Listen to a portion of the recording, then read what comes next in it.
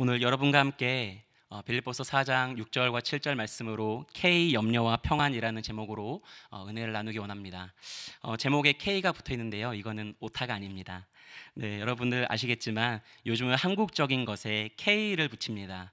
아, 유명한 한국 노래가 있으면 K-팝이라고 하고요. 어, 또 한국 음식이 있으면 K-푸드, 또 한국 드라마를 K 드라마. 어, 특히 뭐 코로나 상황 가운데에서 한국이 어, 방역을 잘했을 때는 K 방역이라고 하면서 어, 한국적인 것, 한국 스타일, 어떤 한국적인 특성을 가진 것에 K를 어, 붙이곤 합니다. 어, 오늘 이 제목을 보시면은 염려에 K가 붙어 있습니다. 무슨 말이냐면은 한국 사회에 두드러지는 염려의 모습들이 있다는 것입니다. 어, 오늘 그 K 염려 라고 할 수 있는 우리가 이 한국 사회를 살아가면서 가지고 있는 염려의 그런 어, 내용들을 한번 제가 염려라는 단어의 어, 앞 글자 네 글자를 따서 영어로 fear라고 하는 단어인데요. 이 네 글자를 따서 한번 정리를 해봤습니다. 첫 번째는요, 바로 부입니다. 어, 영어로는 fortune이라고 합니다. 그래서 부행운이라는 뜻인데요. 한국 사회에 우리가 지금 많이 많은 어떤 염려의 이유들이 있다고 한다면 그것은 대부분이 돈에 대한 염려, 입니다 부와 어, 우리가 또 살고 있는 이 어떤 어, 집값이나 어떤 이 사회에 계속해서 있는 그런 한탕주의 이런 것들로 인해서 우리가 어, 많은 염려를 가지곤 합니다. 어, 오늘 여기 부라는 단어에는 행운이라는 뜻이 같이 또 있는데요. 이게 우리 염려를 더 극대화하곤 합니다. 어, 예기치 않게 뜻하지 않게 사놨던 어떤 집이 갑자기 폭등을 하고 하는 과정 가운데에서 또 우리는 폭등을 하면은 한편으로는 폭락을 염려해야 되는 그런 상황 속에 있지요. 그리고 또 내가 어, 그런 것들을 준비하지 못했다면은 그 놓친 것으로 인해서 불안과 염려가 더 커지는 것들을 경험하곤 합니다. 두 번째로는 엔터라는 단어입니다. 들어가다라는 겁니다. 한국 사람들의 주로 가지고 있는 염려는 뭐냐면은 어딘가를 가는 겁니다. 들어가는 겁니다. 어려서부터 어느 유치원을 가느냐부터 어느 초등학교, 어느 중학교, 고등학교, 대학교, 그 대학을 졸업하면은 끝이 아니라 어느 회사를 가느냐, 어느 직장을 가느냐, 그 직장에서도 어느 부서를 들어가느냐, 그 부서에서도 어느 임원의 어떤 선에 서느냐, 뭐 이런 것들을 가지고 많은 염려가 끊임없이 가는 것을 경험하곤 합니다. 어, 뭐 심지어 요즘은 어느 실버타운에 들어가느냐 이것 가지고도 많은 염려를 한다고 합니다. 네. 어, 우리가 이와 같이 어디에 들어가는 것을 계속해서 고민하는 게 한국 사회의 가득한 고민입니다. 그런데 사실은 어, 내 안에 무엇이 들어있는지를 돌아봐야 되고 어, 그런 가운데에서 내가 어, 내 안에 어떤 것이 들어와서 나를 만들어 가고 있는지 내가 누구인지에 대해서 성찰해 보아야 되는데 그런 것들에 있어서 우리는 너무 분주함 가운데 어디 들어가기 위해서 분주함 가운데 쫓기고 떠밀려 다니는, 듯한 그런 삶을 살곤 합니다. 세 번째는 에버리지라는 겁니다. 평균이라는 어, 단어입니다. 평균의 함정이라는 말 들어본 적 있으십니까? 어, 여러분 제가 예를 하나 들어볼까요? 어, 문제입니다. 수학 문제입니다. 평균 수심 150 어, 어, 100, 어, 150 어, 센티미터에 평균 신장 아, 최대 수심 2m입니다. 이 강에 어, 180cm의 사람이 들어갔습니다. 이 사람은 강 끝까지 나올 수 있을까요? 없을까요? 없습니다. 평균은 150이지만 가장 깊은 곳이 2m여서 180인 사람도 어, 들어가지 들어가면 살아남지 못한다는 거죠. 어, 우리는 많은 부분에 있어서 이런 평균의 함, 정에 속고 있습니다. 내가 평균보다 위인가 아래인가, 내 소득이나 학력이나 우리 자녀의 뭐 IQ부터 시작해서 지능이나 뭐 그런 많은 것들이 평균으로. 그래서 우리는 이제 어떤 문제를 어, 어, 삶에서 어떤 문제를 풀기 위해서 많이 이런 것들의 해결책을 얻죠. 그래서 당신은 뭘 했어? 그래서 누구네 집은 어떻게 했대? 그래서 사람들이 제일 많이 선택한 게 뭐야? 라고 하면서 평균을 구합니다. 나름대로의 평균치를 가지고 그 안에서 내가 들어가 있다면 안도하고 그렇지 않으면 염려를 합니다. 네 번째는 리듬입니다. 한국 사회는 굉장히 변화가 빠른 사회죠. 리듬이 굉장히 빠릅니다. 우리가 아까 부른 찬송에서 평화 평화로다 이런 찬양인데요. 이게 만약에 평화 평화로다 뭐 이렇게 하면은 갑자기 분위기가 바뀌죠. 리듬이 바뀌는 겁니다. 한국 사회는 리듬이 굉장히 빠릅니다. 그래서 우리 모두가 따라가기 어려운 리듬입니다. 그런데 어, 그런 사회의 변화 가운데 우리는 개인의 리듬을 찾지 못해서 일에 치이고 분주함에 바쁘고 자신의 생체 리듬을 돌보지 못하니까 병에 들고 또 만성 피로와 스트레스에 쌓이고 또 생각에 있어서 리듬이 필요한데 나의 호흡이 필요한데 그것을 갖지 못하니까 생각에도 여유가 없고 그래서 심리가 불안정하고 예민하게 되는 것입니다. 여러분 나름대로 제가 네 가지의 이 어, 한국 사회에 있는 염려 F-E-A-R, fear라는 두려움이라는 염려라는 단어를 한번 정리해봤는데 혹시 동의가 되시나요? 오늘요 성경에서는 어, 우리 가운데에 이런 염려를 없애라고 하고 있습니다. 한국 사회에서 어, 유명한 한 철학자인 한병철이라는 사람이 이런 한국 사회를 두고 피로 사회라고 진단, 을 했습니다. 그리고 이 사회에 필요한 게 힐링이 아니라 killing, 즉 없애는 거라고 합니다. 그런데 성경도 오늘 우리에게 같은 요구를 하고 있습니다. 염려하지 말라라고 하고 있습니다. 너희 가운데 염려를 없애버려라라고 하는 것입니다.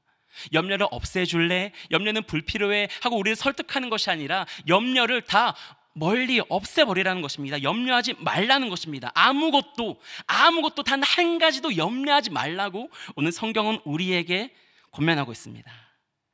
여러분, 염려의 사전적 의미는 뭐냐면요. 앞의 일에 대하여 여러 가지로 마음을 써서 걱정함이라는 뜻입니다. 즉, 미래에 대한 걱정이지요.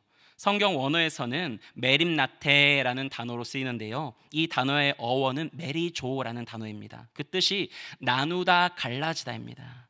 즉 염려란 미래에 대한 걱정으로 마음이 나누어져서 갈피를 잡지 그럼 못하는 그런 상태로 있습니다.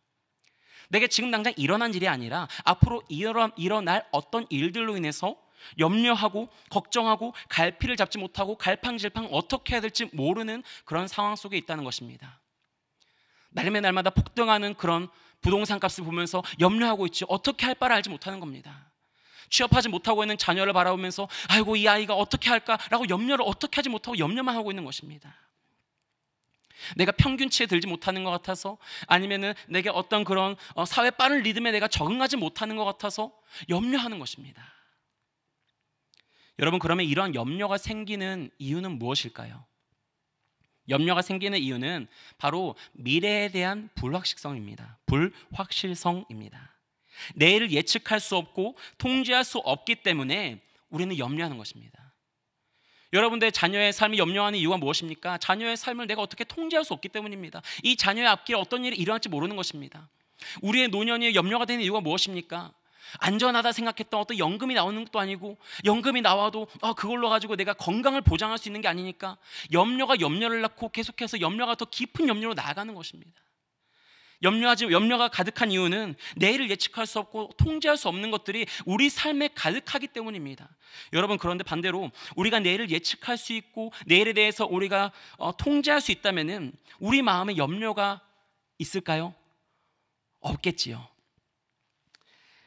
그런데 문제는 우리가 애초에 내일을 예측하지 못하고 통제하지 못하는데 나의 문제가 아닌데 우리는 그걸 가지고 씨름하고 있기 때문에 하나님은 오늘 너희가 염려할 것 아무것도 없어 라고 하는 것입니다.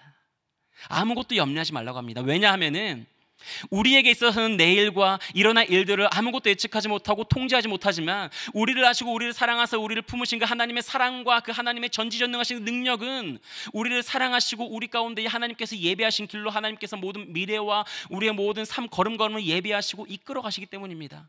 널 향한 나의 생각을 아노니 평안이라 하셨습니다. 재앙이 아닙니다. 희망입니다. 그 하나님께서 우리의 미래를 우리의 미래를 준비하시고 열어 가시는데 우리가 걱정할 문제가 아무것도 없다는 것이지요. 우리의 몫이 아니라는 겁니다. 오늘 바로 이 빌립보서 4장 6절 7절 말씀을 가지고 이 염려를 없애는 법, 이 염려를 제거하고 우리 안에 정말 진정한 참된 그 평안의 삶으로 우리가 살아갈 수 있는 그 평안에 대한 길을 함께 나누고자 합니다. 첫째로는 평안을 위해서 우리에게 필요한 것은 기도와 간구입니다. 오늘 성경이 말하고 있습니다. 아무것도 염려하지 말고 다만 모든 일에 기도와 간구로 나오라 합니다. 첫째로 성경이 우리에게 주는 가이드, 기도와 간구. 너무 당연한 말이시요. 여러분 그런데 우리가 정말 기도하고 있습니까? 여러분의 삶에 얼만큼 우리가 기도하고 있습니까? 우리가 염려하는 이유는 기도하지 않기 때문입니다. 그런데 어, 이 기도에 또한 성경, 성경은 간구를 더하고 있습니다. 이 간구는요 데시스라는 단어입니다. 어, 그 의미가 간구 우리 너무 잘 알고 있죠. 간청하는 겁니다. 애원하는 겁니다. 간절하게 구하고 찾고 두드리는 겁니다. 하나님의 옷자, 예수님의 옷자락을 붙잡고 예수님이 아니면 안 됩니다라고 의지하는 겁니다. 히브리서 5장 7절에서도 같은 단어가 쓰였는데요. 5장 어, 7절 말씀이 이렇게 말합니다. 그는 육체에 계실 때에 자기를 죽음에서 능히 구원하실 이에게 심한 통곡과 눈물로 간구와 소원을 올렸고 그의 경건하심으로 말미암아 들으심을 얻었느니라. 자, 누구의 기도하는 모습일까요? 바로 예수님의 기도하는 걸 두고 히브리서 5장 7절에서 이렇게 말합니다.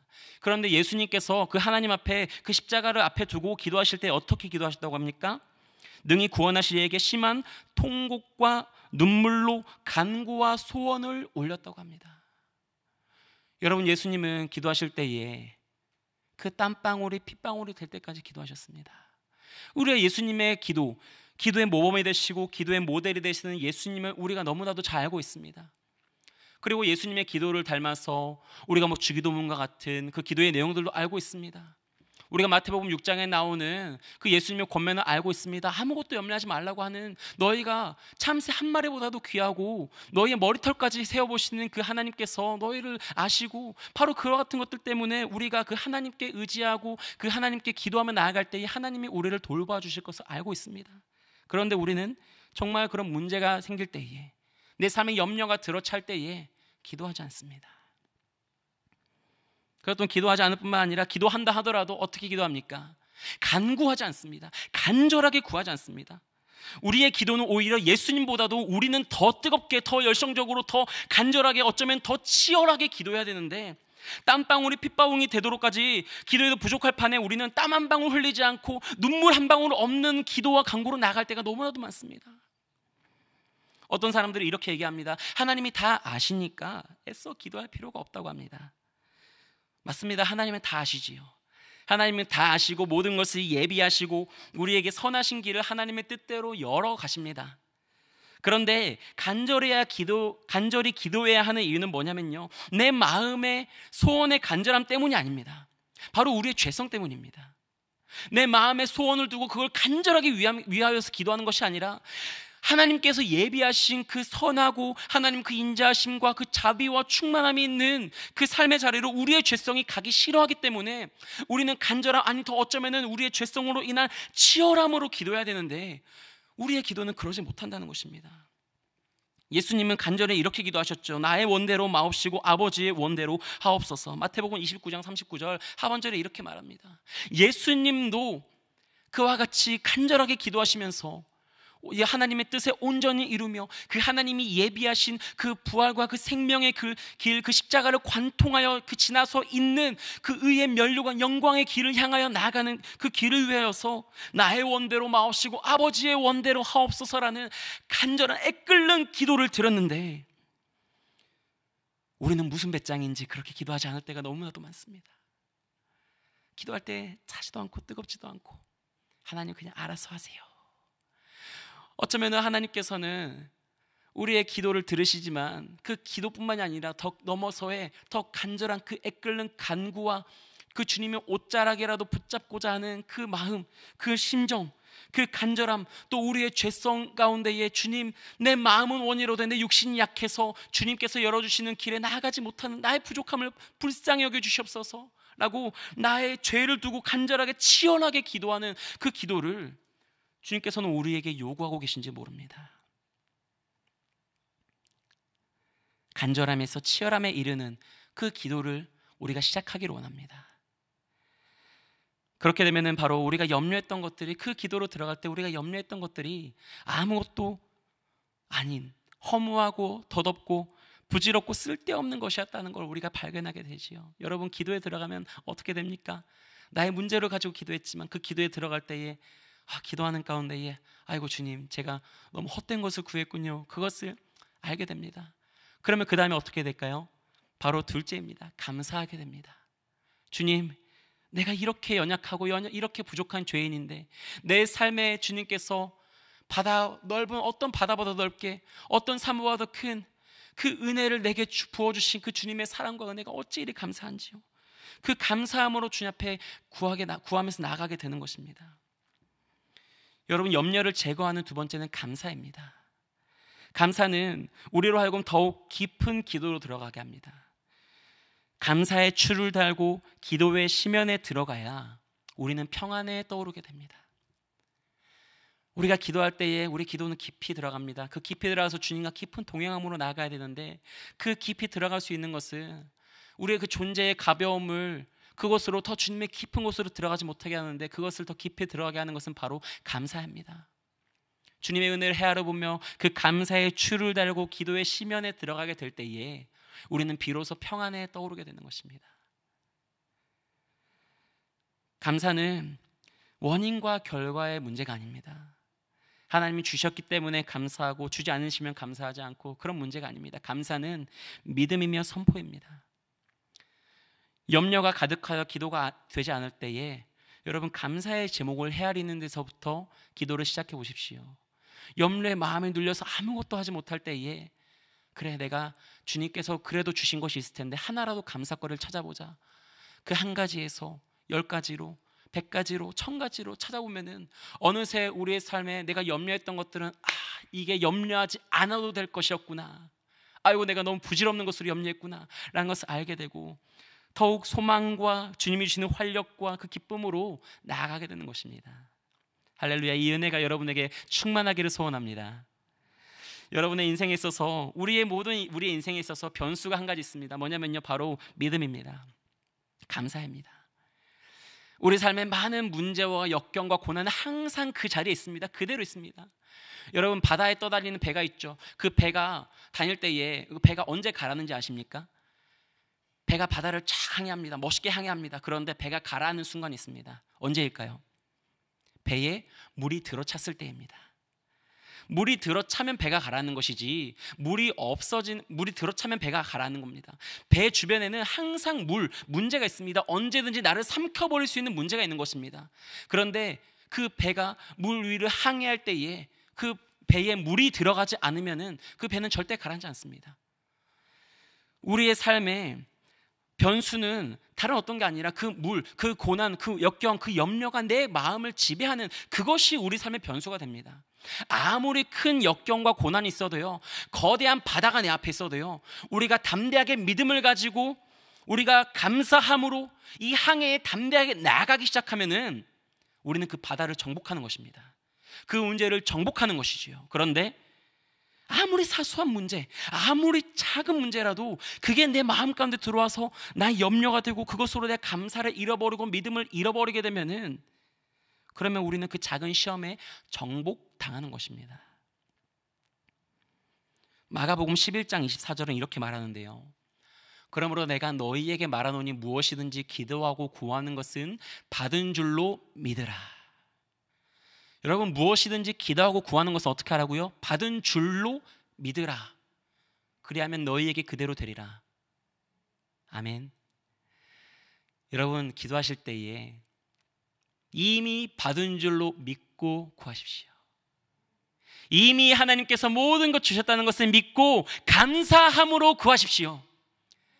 그 감사로 그 믿음으로 구할 때에 담대하게 나아갈 때에 하나님께서 그 믿음을 보시고 우리 어떤 의로움이 아니라 어떤 자격이 아니라 어떤 공로가 아니라 그 믿음을 보시고 하나님께서 구하는 그대로 주실 것입니다. 선하신 하나님께서는 우리를 향해서 모든 계획하시고 선한 길로 이끄십니다. 그래서 우리는 이미 받은 줄로 믿고 주어진 은혜에 감사하고 염려를 테러 털어낼 수 있는 것입니다. 그렇게 감사와 기대와 소망을 가지고 기도로 들어가면 그 기도의 자리에서 기도의 시면에서 지혜를 얻고 기쁨을 얻고 소망을 얻고 감사를 충만하게 얻어서 여전히 삶의 문제가 그 자리 가운데 있지만 우리는 그 자리를 그 삶을 인생을 항해하며 돌파하며 나가게 되는 것입니다. 여러분 이런 삶을요 세 번째로는 묵상한 삶이라고 말합니다. 염려를 없애는 세 번째 방법은 무엇이냐? 바로 묵상입니다. contemplate. 좀 어려운 단어인데요. 오늘 성경 말씀 이렇게 말합니다. 아무것도 염려하지 말고 다만 모든 일에 기도와 간구로 너희 구할 것을 감사함으로 하나님께 아뢰라. 그리하면 그리하면 잘 보세요. 모든 지각에 뛰어난 하나님의 평강이 그리스도 예수 안에서 너희의 마음과 생각을 지키시리라.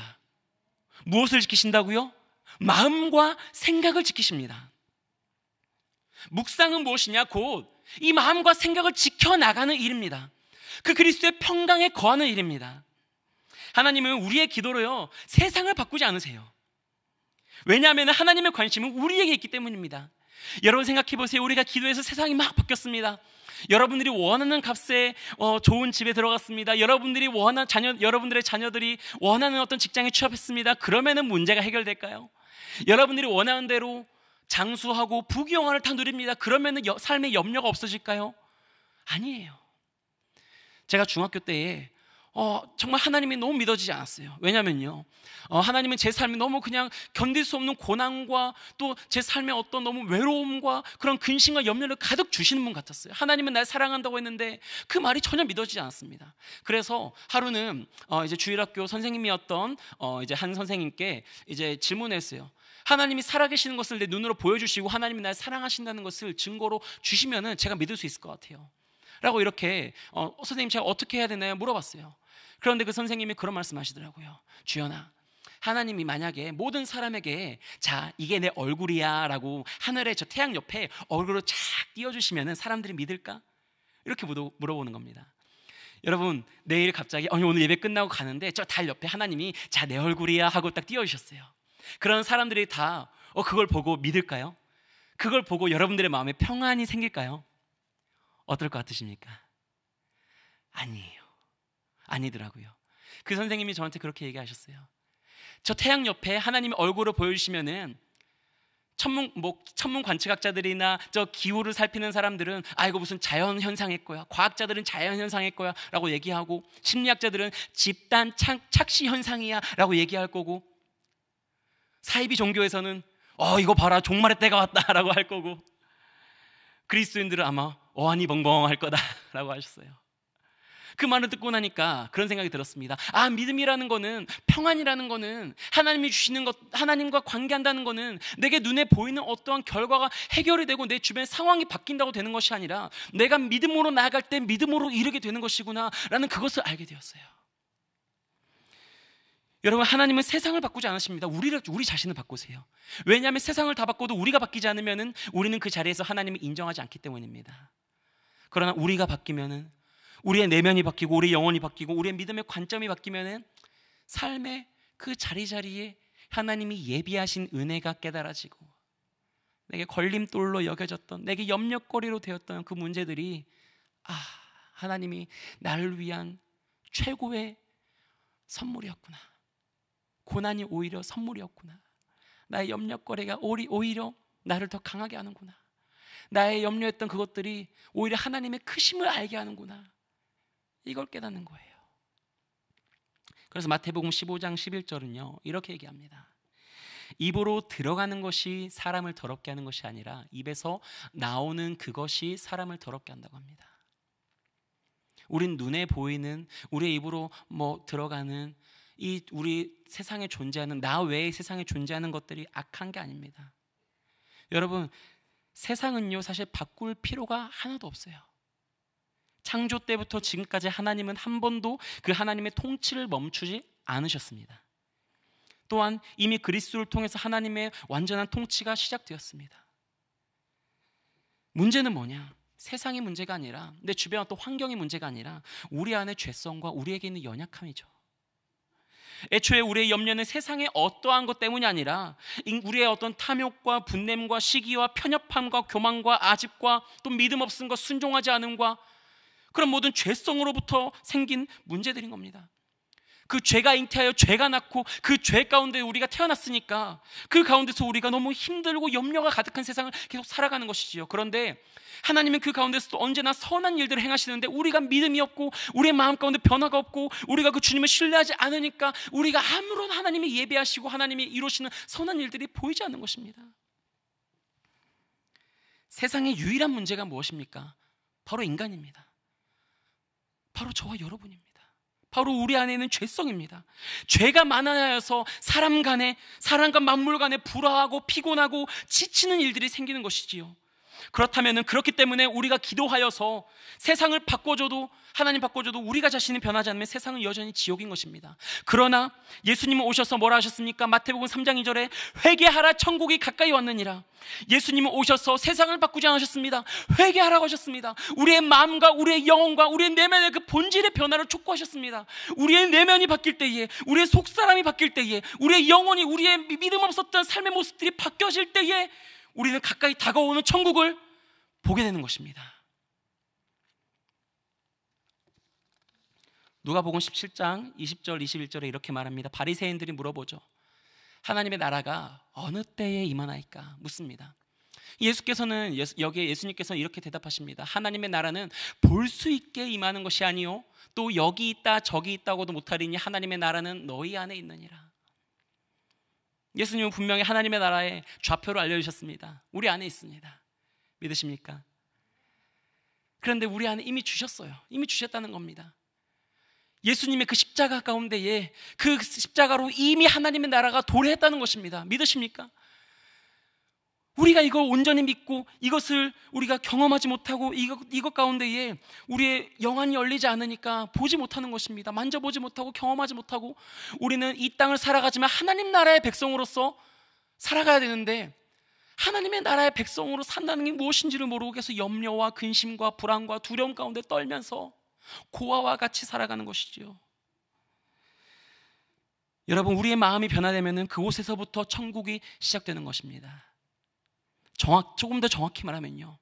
이미 시작된 아니 한 번도 멈추지 않았던 그 하나님의 나라와 그 하나님의 통치, 그 하나님의 손에 안겨 있는 우리의 삶을 우리가 마음이 변화되어지고 우리가 회개하며 우리 모두 염려 아무것도 염려하지 않고 우리가 다만 모든 일에 기도와 간구로 우리 구할 것을 감사함으로 하나님께 아뢰며 나아갈 때에 이미 우리 가운데 허락하신 이미 하나님의 손 안에 안겨 있는 우리의 삶을 보게 되는 줄 믿습니다. 그래서 하나님의 나라는요, 제가 이렇게 정해봤습니다. 뭐냐면요, 하나님의 손에 안긴 세상과 나입니다. 하나님의 나라는 하나님의 손에 안겨 있는 것입니다. 하나님의 품 안에 있는 것입니다. 여러분, 우리는 이미 하나님의 품 안에 안겨 있는 하나님의 성도들입니다. 믿으십니까? 그런데 우리가 무엇을 걱정하겠습니까? 무엇을 염려하겠습니까? 우리 주님은 그래서 말씀하시는 거예요. 아무것도 염려하지 말라. 아무것도 염려하지 말라. 내가 이미 승리하였다. 이미 내가 너를 안고 있다. 이미 이 세상이 나의 것이다. 이미 내가 온전하게 하였고 예수 그리스도 다시 오실 때에 그때의 영광의 면류관으로 너희 모든 이들에게 보일 것이다라고 하시는 거죠. 하나님의 나라는 이미 시작되었습니다. 여러분 두려워하지 마십시오. 염려하지 마십시오.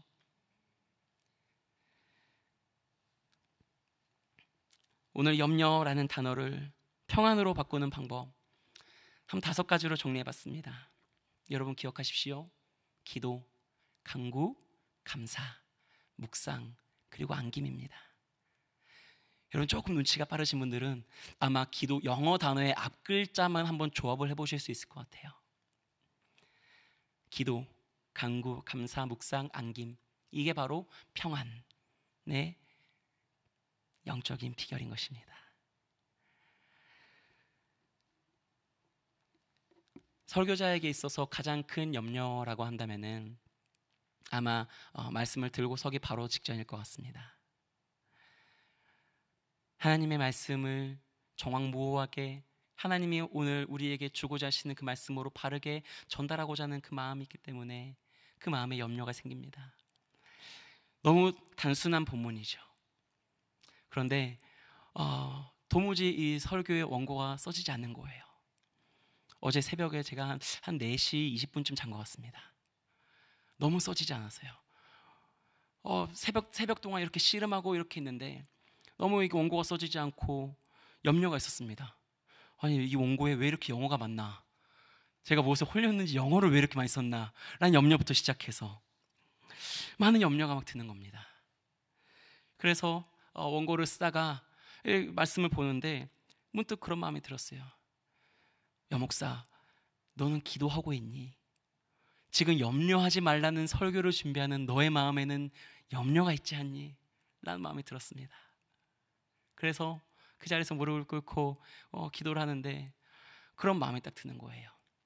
아무것도 두려워하지 말아라. 내가 이미 이겼노라. 너의 말에 어떠함이 아니라 내가 이 자리 가운데 성령으로 동행하여서 내가 나의 백성을 일으켜 세우리라 하는 그런 마음의 감동을 주시는 거예요. 그러고 나서 아침에 눈을 떴습니다. 어, 어쩜 그렇게 개운한지 모르겠어요. 여러분 한국 사회에 뭐 우리가 살아가는 이 현대 사회에 많은 분들이 우울증과 또 외로움과 또 뭐 불면증과 근심 걱정으로 잠 못 이루는 하루하루를 살고 있습니다.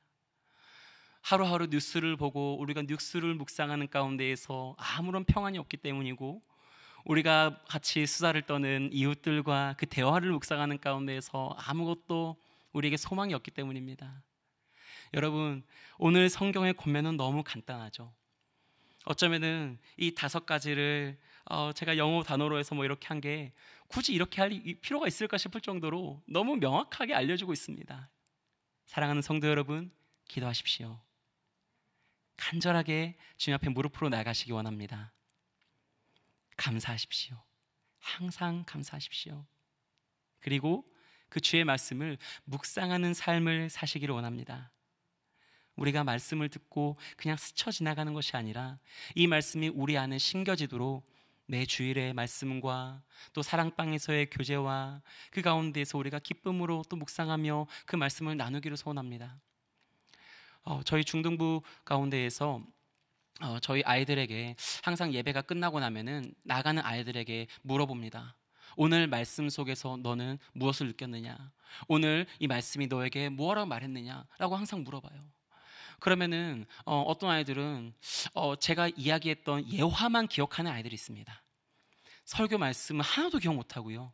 예화만 기억하는 거예요. 어, 그런데 어, 그래도 감사한 겁니다. 어, 이 아이들이 그래도 뭔가를 들었구나. 그래서 또 한번 물어봅니다. 그 예화 속에서 너는 어, 무엇을 느꼈느냐 하면은 참 하나님께서 이들이 말씀 하나도 기억 못하는 것 같은데 그 예화 가운데서 느낀 그 마음에 남아있는 인상은 말씀에서 전하고자 했던 그 포인트와 정확한 것을 제가 경험하곤 합니다. 여러분 하나님께서는요 어, 뭐 우리 그런 말이 있잖아요. 북한의 김정은이 여기 한국을 못 내려오는 이유가 우리나라의 중딩들 때문이다. 네. 그만큼 우리의 마음을 간담을 서늘하게 하는 네. 어, 대상들일지 모르지만 어쩌면은 많은 사람들은 어떤 그 아이들을 어쩌면 그런 시기 질풍노도 많은 염려와 걱정이 있는 시기에 아이들의 삶에 어, 뭐 이렇게 어, 말씀에 예배를 드리는 것이 뭐 무슨 의미가 있느냐 그 시간에 학원을 가고 공부를 하고 하는 게 더 의미가 있지 않겠느냐라고 뭐 물어볼 수 있겠지만 그게 아니더라고요. 이 아이들의 그 어떤 어, 마음속에 있는 염려와 그 근심과 걱정과 이런 것들이 말씀 속에서 해결이 되고 그 안에서 어, 그들의 삶의 길이 조금씩 열려지는 것들을 경험합니다. 저는 중등부 가운데에서 섬기면서 날마다 매주 어, 우리 선생님들하고 그런 얘기들을 하고 그런 기대를 합니다. 뭐냐면요. 이 예배 가운데에서 어느 한 사람도 그냥 돌아가지 않게 하옵소서. 여러분, 근데 그렇게 하기 위해서는요. 뭐가 필요하냐면은 바로 먼저 예배 나오는 우리가 주님의 말씀을 사모하는 심령으로 매주 나와야 되는 것입니다. 여러분들의 어, 예배와 여러분들의 사랑방과 아니면 여러분들의 삶에서의 경건의 삶의 모습들을 우리가 정말 이 다섯 가지 안에서 곰곰이 생각해 보십시오. 정말 나의 삶의 예배를 드리기 위하여서 기도하는 시간이 있었는가? 정말 그 예배를 드리고 나서 그 말씀을 붙잡고 내가 강구하며 나갔는가? 정말 내가 그 예배 나올 때 감사함으로 주님 앞에 인색하지 않게 예배 드리고 있는가? 그리고 또한 그 선포되는 말씀을 가지고 내가 묵상하고 있는가? 그리고 내가 정말 주님 품에 안겨 있는 것을 내가 날마다 경험하고 있는가?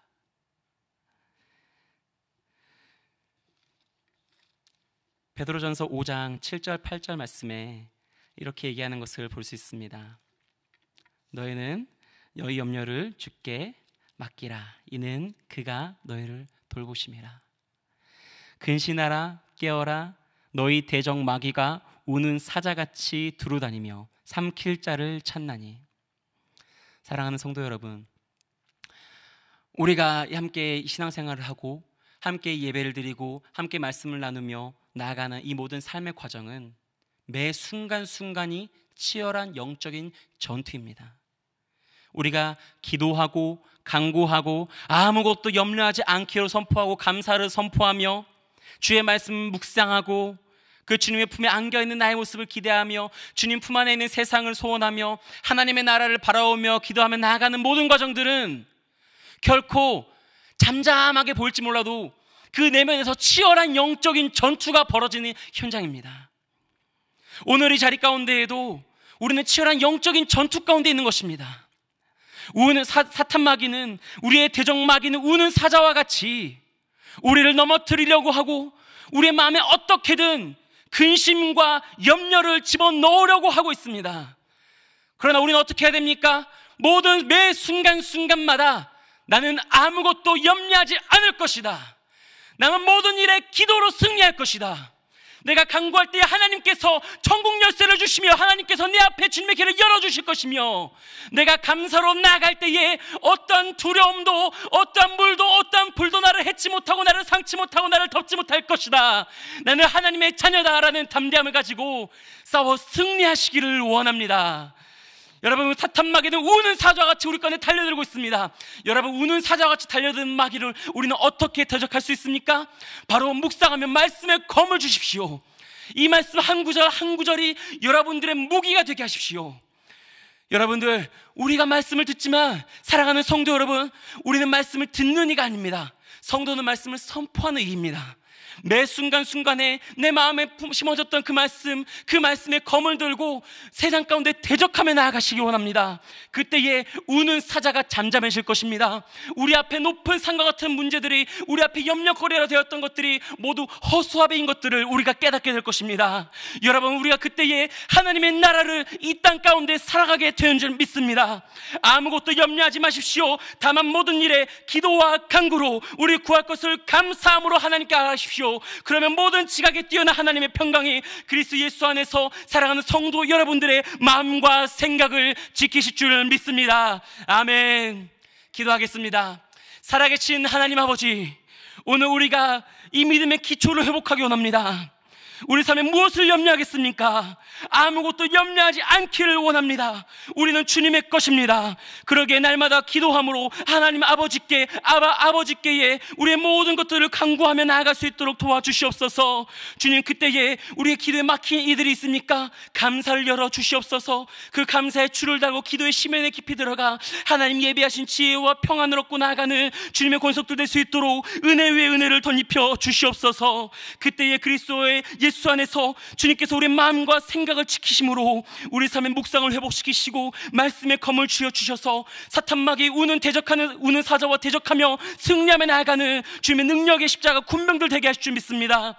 하나님 그렇게 우리가 날마다 날마다 살아 숨쉬는 순간 순간마다 우리의 삶을 단지 이 한국 사회에서 가난하고 약하고 병약하고 노쇠해져가는 삶이 아니라 하나님의 영원한 하나님 나라의 백성인 것을 인지하고 하나님의 나라를 미리 살아갈 수 있는 그런 모든 영원 복락 누리는 주님의 권속 들을 수 있도록 축복하여 주시옵소서 의탁드리면 예수님의 이름으로 기도드립니다. 아멘 아멘